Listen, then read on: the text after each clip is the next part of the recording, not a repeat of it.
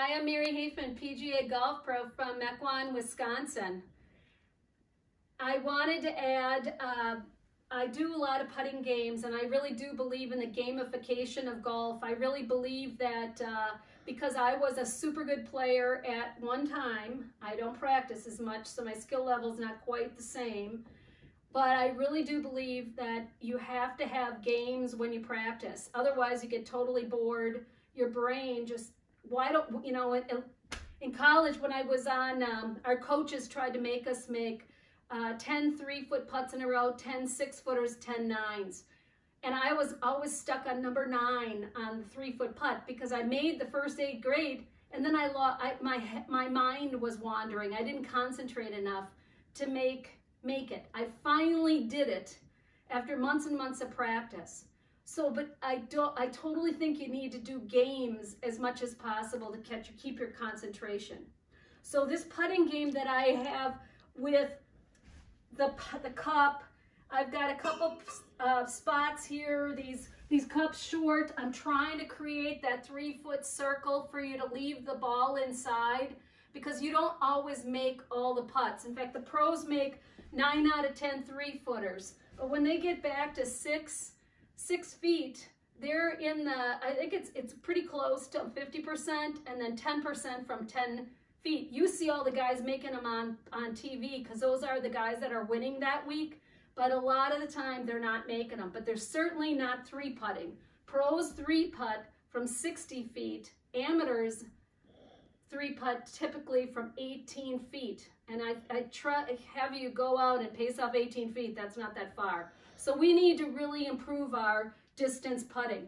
One of the, so you could practice this game on a flat surface, but I think you should add, after you do this a while, add some variables, add a little slope. So how do you do that inside? We got to think out of the box.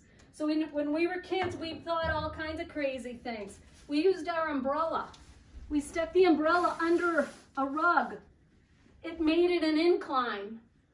So I putt back here and try to see if I could get it up over the hill and then down to the cup and stop within that three foot circle.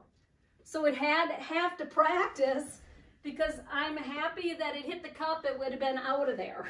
So my goal is to be short of the, L, of the, of the pink ruler if I miss this putt. So I got to get the feel of up and over. So I'd be getting two points because a, make is five, inside this square is two.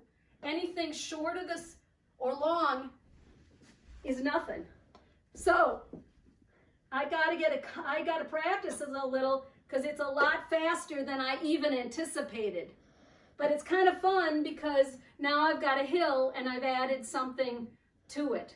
So experiment, put some hills in here, curve them sideways. See, now that adds a different dimension because now I've got to aim a little bit to the right because I've curved it. So the ball's going to go up the hill and curve opposite. See, that went out of there. So I got to figure this out now on how I can make this work. So have some fun, put some uh, an umbrella underneath, put a little, um, geez, I've even used um, a vacuum cleaner cord, anything. A bat, use a bat. A bat would work good too. Anything to give some elevation. It's fun, it's engaging your brain, and it's improving your game. So have fun and check out maryhafemangolf.com for, for more information about coaching and my coaching programs that'll help you improve your game.